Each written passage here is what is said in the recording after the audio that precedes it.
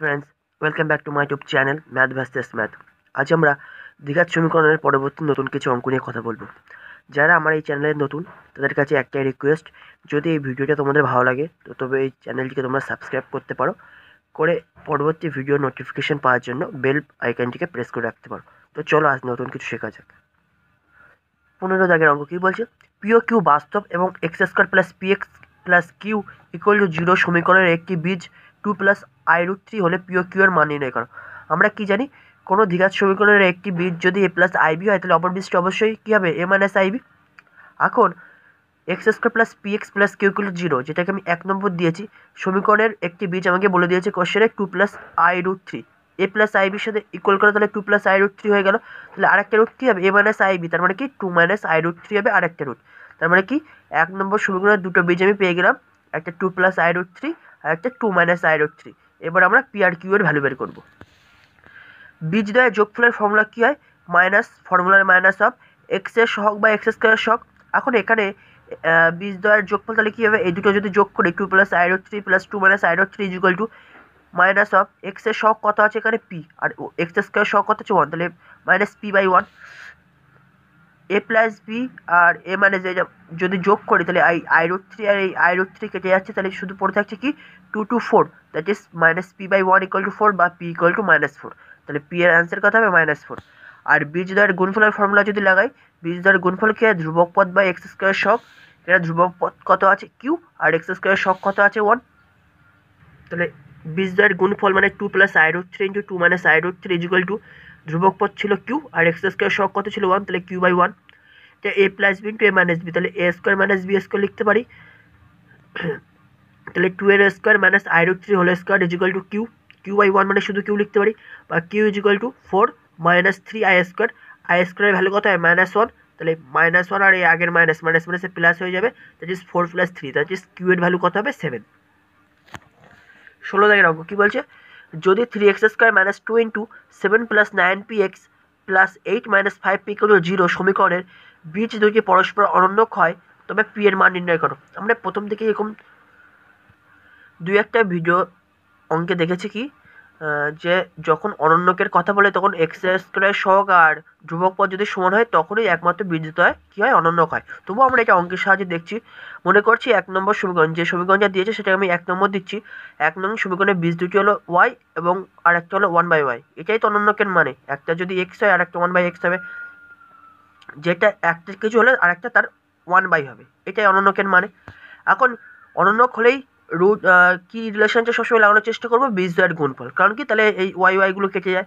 তাই লাগিয়েছি ফর্মুলা বীজদ্বয়ের গুণফল ইজুয়াল টু ধ্রুবক পদ বাই এক্স স্কোয়ার শখ আমরা জানি। এখন বীজদ্বয় মানে কি? Y into one by Y গুণফল হয়ে গেল।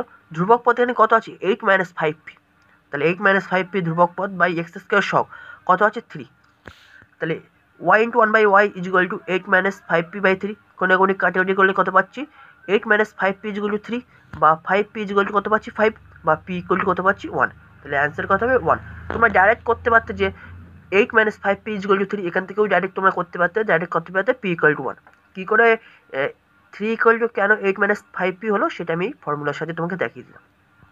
কারণ এক্স স্কোয়ার সহক আর ধ্রুবক পথ সবসময় সমান হয় যখন বীজদ্বয় অনন্যক হয়। সতেরো দাগের অঙ্ক, কী বলছে? এক্স বাস্তব হলে নিজের প্রত্যেকটি দ্বিঘাত রাশির চিহ্ন নির্ণয় করো। এবার আমি এখানে প্রত্যেকটা অঙ্ক এই একই ফর্মুলা দিয়ে করব। এই ফর্মুলাটা প্রথমেই তোমরা একটু ভালোভাবে বুঝে নেওয়ার চেষ্টা করো। চরম মান বলো অবমান বলো ঋণাত্মক বলো, ধনাত্মক বা চিহ্ন নির্ণয় করার বলো, সমস্ত অঙ্কগুলোই আমি একই ফর্মুলার সাহায্যে করব। দেখি তোমাদের আমি বোঝানোর চেষ্টা করব ভালো করে। এক দেড় অঙ্ক কী বলছে? Three X square minus two X plus ওয়ানের আমার চিহ্ন নির্ণয় করতে পারি। চিহ্ন মানে কি? পজিটিভ না নেগেটিভ এই জিনিসটা যদি কোনো এক্সের ভ্যালু আমি যদি পুট করি, সেটা আমি পজিটিভ পাবো না নেগেটিভ পাবো? সেটাই আমাকে বের করতে হবে। এখন প্রথমে আমি এই ধরনের অঙ্কে একটাই কাজ হবে, প্রথমে আমি এক্সট্রাকে ফ্রি নেব ফ্রি করে নেব। তার মানে কি? এক্স স্কোয়ার শখ সবসময় যেন প্লাস ওয়ান থাকে, সেটাকে আমাকে এই ব্যবস্থাটা সবসময় করে দিতে হবে। কী করতে হবে? এক্স স্কোয়ারের সহগ যেন সবসময় প্লাস ওয়ান থাকে, এটা আমাকে মাথায় রাখতে হবে। কিন্তু এখানে তো এক্স স্কোয়ার সহগ তো প্লাস থ্রি আছে, তার মানে কি? আমাকে এখান থেকে প্লাস থ্রি কমন নিতে হবে। শুধু তো প্লাস থ্রি তো এক্স স্কোয়ার থেকে তো কমন নেওয়া যায় না, সবার থেকেই কমন নিয়ে নিতে হবে তাহলে। তাই আমি প্রথমেই সবার থেকে আমি কমন নিয়ে নিলাম প্লাস থ্রি কারণ আমাকে এক্স স্কোয়ারটাকে সহগ প্লাস ওয়ানে নিয়ে যেতে হবে। তাহলে তার মানে থ্রি কমন নিলাম। থ্রি কমন নেওয়ার পর কী পড়ে থাকল তাহলে? X square minus two by three X plus one by three তুমি আবার থ্রি গুণ করে দাও। Three X square three three কেটে যাবে মাইনাস টু এক্স আর প্লাস থ্রি থ্রি কেটে যাবে প্লাস ওয়ানই পাবা। অর্থাৎ কমন নেওয়া আশা করি তোমরা সবাই বুঝতে পেরেছ। এবার নেক্সট স্টেপটা দেখো। কী ফর্মুলা বেরবে আমাকে এ মাইনাস বি এর হোল স্কোয়ার না এ প্লাস বি এর হোল স্কোয়ার ফর্মুলা একটা ফেলতে হবে। সেটা কোন ফর্মুলা কিসে পড়বে সেটা কী করে বুঝব? এক্সের আগে কোন সাইন আছে মাইনাস তার মানে কি এ মাইনাস বি এর হোল স্কোয়ার ফর্মুলা ফেলব। যদি এক্সের আগে যদি প্লাস সাইন থাকতো তাহলে এ প্লাস বি এর হোল স্কোয়ার ফর্মুলা ফেলব, ঠিক আছে? যার এ হবে সবসময় এক্স আর বি হবে সেটা আমরা ক্যালকুলেশন করে বের করছি। তোমরা দেখলেই বুঝতে পারবে। কী করছি? এবার এবার বাইরের তিনটা যেরকম ছিল সেরকম থাক, এবার ভিতরের জিনিসটা নিয়ে কাজ করছি। তাহলে এক্সের হোল স্কোয়ার লিখতে পারি এক্স স্কোয়ার থেকে মাইনাস টু এ বি মানে ফর্মুলায় ফেলতে হবে তো A minus B whole square A square minus two A B plus B square তাহলে এ স্কোয়ার মানে কি? এক্সের whole square minus two A B two A মানে এক্স আমার এখানে ছিল দুয়ের তিন, তাহলে দুয়ের সাথে কত গুণ করলে দুয়ের তিন চলে আসবে? একের তিন। তাহলে মানে এখানে বি এর কাজ করবে কোনটা? ওয়ান বাই থ্রি তাহলে plus B square plus one by three whole square কিন্তু one by three whole square তো ছিল না তো আমি কী করলাম? Minus one by three whole square করে দিলাম। লাস্টে একটা প্লাস ওয়ান বাই থ্রি ছিল, এই যে প্লাস ওয়ান বাই থ্রি এখন এইটুকু জিনিস। এইটুকু জিনিস একটা ফর্মুলা পড়ে যাচ্ছে না? X minus one by three whole square আমি তাহলে লিখেছি three into X minus one by three whole square এবার এইটা আর এইটা ক্যালকুলেশন করলে কত পাচ্ছি? Minus one by nine plus one by three এবার এটা যোগ বিয়োগ করে কত পাচ্ছি? Three into X minus one by three whole square আর এটা যোগ বিয়োগ করলে কত পাচ্ছি? প্লাস টু বাই থ্রি তার মানে কি? Three X square minus two X plus ওয়ানের পরিবর্তে এখন আমি এই জিনিসটাও লিখতে পারি। কারণ এটা ইজিকল টু এটা পেয়ে গেলাম। এখন এক্সের সমস্ত বাস্তব মানে এক্সের সমস্ত বাস্তব মানে কোনো বর্গ রাশির মান কী হয়? হয় জিরো হবে না জিরোর থেকে বড় হবে? এই তো একটা বর্গ রাশি পেয়ে গেছে না X minus one by three whole square এটা একটা বর্গ রাশি তো? আমরা আমি সেটাই বলছি যে এক্সের মান যদি বাস্তব হয়, তুমি এক্সের মান যে কোনো একটা বাস্তব মান বসো এই জিনিসটার মান হয় জিরো হবে না জিরোর থেকে বড় হবে? আমি তাই লিখে নিয়েছি X minus one by three whole square always greater than equal to zero হয় জিরো নয় জিরোর থেকে বড়? এবার আমি কী করছি? উভয় দিকে যদি একই জিনিস যোগ করি, তবে হামুকের কোনো চেঞ্জ হয় না। যদি বিয়োগও করি চেঞ্জ হবে না, কিন্তু একমাত্র মাইনাস দিয়ে গুণ বা ভাগ করলে তবে হামুকের সাইনের চেঞ্জ হয়। কিন্তু আমি এখানে যোগ করছি, অতএব হামুকের সাইনের কোনো চেঞ্জ হবে না। হামুক যেদিকে আছে সেদিকেই থাকবে। তাহলে উভয় দিকে দুয়ের তিন যোগ করে দাও। তাহলে উভয় দিকে দুয়ের তিন যোগ করে দিলাম। এবার দুয়ের তিন যোগ করার পর এবার উভয় দিকে তিন দিয়ে গুণ করো। আমি কি বলেছি যদি নেগেটিভ কোনো সংখ্যা বা নেগেটিভ সাইন দিয়ে গুণ করি তবে হামুকের চেঞ্জ হবে। পজিটিভ দিয়ে গুণ করলে হামুকের চেঞ্জ হবে না। তো এই শুধু আমি প্লাস থ্রি দিয়ে গুণ করছি, অতএব হামুকের এখানেও কোনো চেঞ্জ হবে না।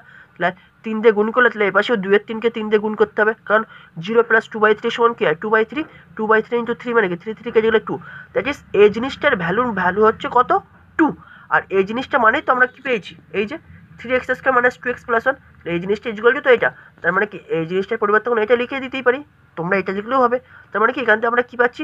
Three X square minus two X plus one greater than equal to two তার মানে কি? এর থেকে কী বোঝা যাচ্ছে? এই জিনিসটার ভ্যালু এই জিনিসটার ভ্যালু হয় দুই হবে, নয় দুইয়ের থেকে বড় হবে। তার মানে কি? যে কোনো ভ্যালু নাও না কেন এক্সের এই জিনিসটার ভ্যালু হয় দুই হবে, নয় দুইয়ের থেকে বড় হবে। তার মানে কি? সবসময় কী পাবো? ধনাত্মক দুইও পজিটিভ দুইয়ের থেকে বড় যে কোনো জিনিসই কি ধনাত্মক? অতএব এই রাশিটার মান কী হবে? ধনাত্মক। সমস্ত এক্স বিলংস টু আর এর জন্য। আর মানে কি? বাস্তব রাশি দ্বারা বাস্তব রাশিকে এই আর সংখ্যা দ্বারা ডিনোট করা হয়। দুই নম্বর এক্সাম্পলটা দেখো। যত বেশি এক্সাম্পল দেখে প্র্যাকটিস করবে, তোমাদের আরও বুঝতে সুবিধা হবে। Three X minus two X square minus two আমি প্রথমে কী বলেছি? এক্স স্কোয়ার সবকে প্লাস ওয়ান করতে হবে। কিন্তু এখানে আছে মাইনাস টু তাহলে প্রথমে কী করব? আমি সবার থেকে মাইনাস টু কমন নিয়ে নেব। মাইনাস টু আমি কমন নিয়ে নিয়েছি। তাহলে কী পড়ে থাকছি? X square minus three by two X plus one এবার এক্সের আগে কোন সাইন আছে মাইনাস অথবা এটা A minus B whole square আগে একটা ফেলতে হবে আমাকে। তাই করে নিচ্ছি মাইনাস টু ইন্টু এক্সের whole square minus two A মানে এক্স কিন্তু এখানে ছিল থ্রি বাই টু তাহলে এখানে কত গুণ করলে থ্রি বাই টু আবার ফিরে পাবো?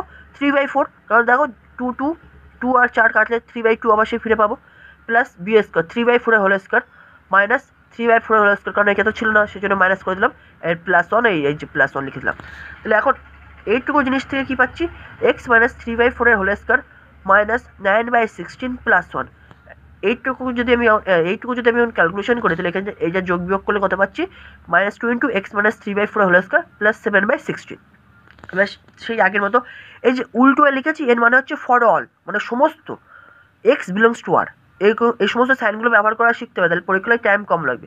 এটার মানে কি? ফর অল উল্টো এ মানে for all for all x belongs to আর এই কোনো বর্গ রাশির মানিকক্ষণে কী বললাম? হয় greater than equal to zero তাই লিখেছি X minus three by four greater than equal to zero আর উপর দিকে সেভেন বাই সিক্সটিন যোগ করে দাও। সেভেন বাই সিক্সটিন যোগ করে দিলাম। তাহলে কত পাচ্ছি? X minus three by four whole square plus seven by sixteen greater than equal to seven by sixteen এখন উভয় দিকে মাইনাস টু দিয়ে গুণ করো। আমি এক্ষুনি বললাম মাইনাস দিয়ে গুণ করলেই তবে কী হবে? হামুকে চেঞ্জ হয়ে যাবে। হামুকে চেঞ্জ হয়ে যাবে। এখানেও ঠিক তাই হয়েছে। দেখো, আমি যেই মাইনাস দিয়ে গুণ করেছি, এদিকে মুখটা, এদিকে ছিল, এখন মুখটা এদিকে ঘুরে গেল। তার মানে কি? এই মাইনাস আর এই মাইনাস টু আর এই সিক্সটিন কাটলে কত পাবো? মাইনাস সেভেন বাই এইট এখন এই জিনিসটার ভ্যালু হয়ে যাচ্ছে মাইনাস সেভেন বাই এইট এখন এই জিনিসটার পরিবর্তে আমি এখন লিখতে পারি। Three X minus two X square minus two না লিখলেও কোনো অসুবিধা নেই। Three X minus two X square minus two less than minus seven by eight তার মানে কি? এই জিনিসটার ভ্যালু হয় মাইনাস সেভেন বাই এইট হবে, নয় সেভেন বাই এইটের থেকে কম। কোনো নেগেটিভ জিনিসের থেকে কম সে কি আর কোনো দিন পজিটিভ হতে পারবে? সে তো আরও নেগেটিভ দিকে চলে যাবে। কারণ নেগেটিভ জিনিসের থেকেও ছোটো করতে গেলে তাকে তো আরও নেগেটিভ করে দিতে হবে। তার মানে কি?